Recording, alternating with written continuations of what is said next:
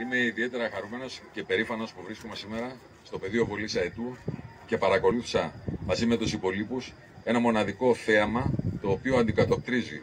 την βαθιά και μεγάλη εκπαίδευση του προσωπικού μας, αντικατοπτρίζει τη θέληση, την τόλμη, την αποφασιστικότητα, τη γενναιότητα και πραγματικά αυτό το οποίο είδαμε σήμερα ήταν μια απεικόνηση, μια επίδειξη δυνατοτήτων τέτοια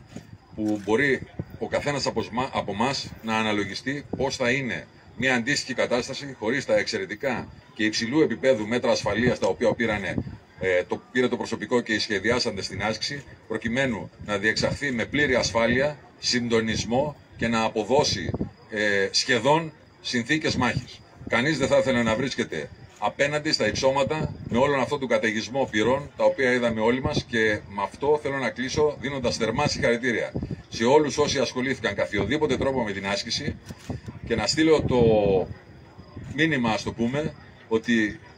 και θέλουμε και μπορούμε και ξέρουμε πώς να το κάνουμε. Απόδειξη αυτό το οποίο είδαμε όλοι σήμερα εδώ στο πεδίο Βολής Αετού. Θερμά συγχαρητήρια σε όλους. Σας ευχαριστώ πολύ.